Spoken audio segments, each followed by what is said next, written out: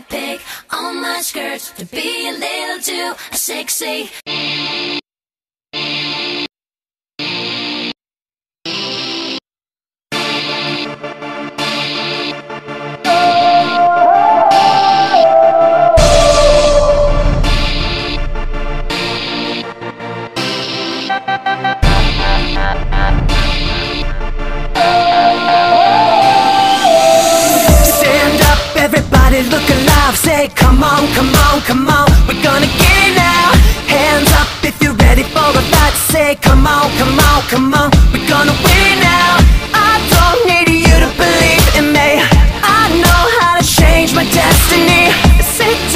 So rewrite our history, rewrite our history.